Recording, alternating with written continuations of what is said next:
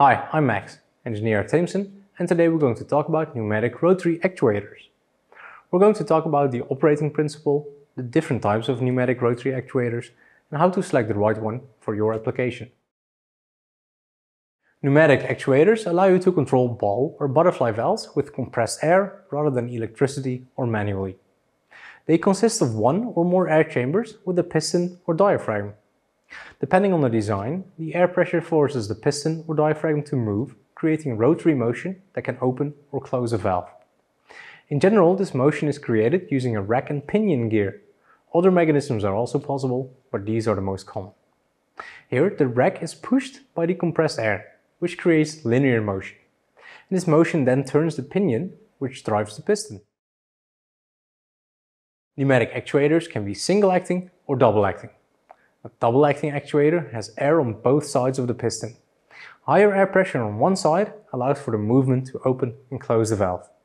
An advantage of double-acting actuators is that they generally have a slightly higher torque at the same amount of air pressure than a single-acting actuator.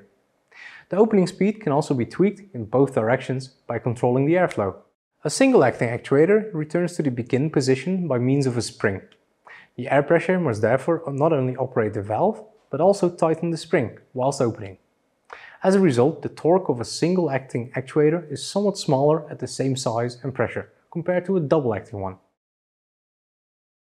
You can choose between normally open and normally closed actuators depending on the starting position of the spring.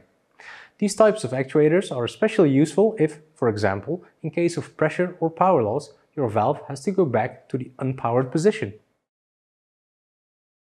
Most actuators have standardized connections. For example, the connections for the valve is usually according to the ISO 5211 standard, so you can easily connect different types of brands of valves.